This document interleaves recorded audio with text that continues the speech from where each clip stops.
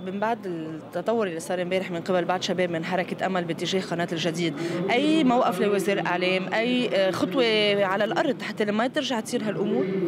أه صحيح أنا سأقوم بالاتصالات بالقياديين في حركة أمل ولا أعتقد أن الأمور تتطلب هذا الشيء علما أن يعني يجب الحفاظ واحترام حرية الرأي وكذلك احترام الرأي الآخر. ممكن التعبير عن رأيهم بطريقة أخرى وسأتصل بهم لهذه الغاية. وقد اتصلت بي السيدة كرمة خياط كذلك واستنكرت أي اعتداء مادي على قناة الجديد لأن حرية الإعلام يجب أن تحترم وتحترم حريات الآخر وحريات اللياقات والأداب العامة. وهذا هو مشروعنا ومشروع الجميع. بعتقد على رأسهم دولة الرئيس نبيه بري الذي لا يرضى بمثل هذه الأعمال.